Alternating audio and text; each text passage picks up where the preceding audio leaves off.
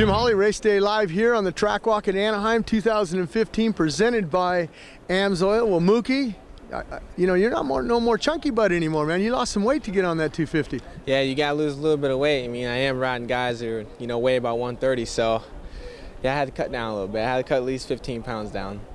Last time we saw you at the Monster Energy Cup, you were privateering and things like that, and uh, all of a sudden somebody gives you a call and says, hey, man, we got a Geico Honda Amsoil to ride over here in Supercross on the West Coast. He said, I'm on it. No, definitely, no, for sure. I got to take, you know, you can't be picky when you don't have anything, and uh, I'm glad that Geico picked me up, and it's it's best team ever. I always wanted to ride there and stuff, so glad to be a part of the whole Geico crew, and, and I feel really good coming into Anaheim 1, and, and their bikes are fast, hands down. I mean, it's the fastest 250 I've ever rode, so I think now it's just you know my confidence is up. Is you now get through Anaheim one and work my way to keep you know Phoenix and keep going. So it's all about getting great good results and keep moving.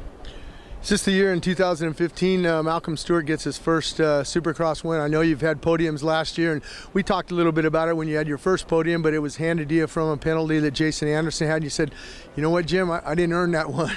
Even, I'll, I'll, take the money, I'll take third place, but and then you backed it up with some podiums and things like that, but still uh, that win has eluded you. No, no, that win I haven't got yet. Got some heat race wins and You're stuff like tonight. that. He's winning tonight, calling it. So, you heard, heard it. He heard what he said, so. Uh, no, he's putting the pressure on you. No, I ain't no pressure. Trust me. I don't. I don't need any more weight on my shoulders. I'm good. I'm now. I'm just gonna carry the Stewart name. So we only got one Stewart out here, so I'm carrying the name over. All right, now I got to ask you, James. How, how's he doing? I know that he's had that suspension. You talked to him a little bit. Don't worry, man. You'll be all right.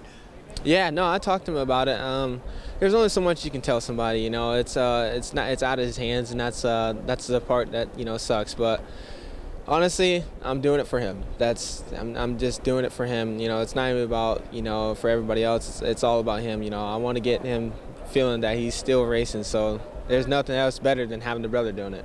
And that was your buddy uh, Kevin Tapia there putting the pressure on you. So, Kevin, maybe it's the night here, Tevin, that uh, Malcolm Stewart does it here in 2015.